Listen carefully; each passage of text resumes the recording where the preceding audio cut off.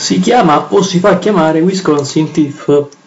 Diciamo che è una di quelle persone che fa parte del mondo a luci rosse e si è creato anche un profilo su OnlyFans andando ad avere delle piccole parti in diverse pellicole.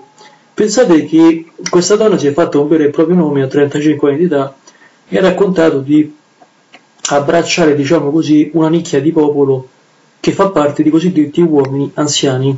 Proprio costoro infatti hanno un successo clamoroso e lei stessa va a soddisfare le relative richieste atipiche e bizzarre, no?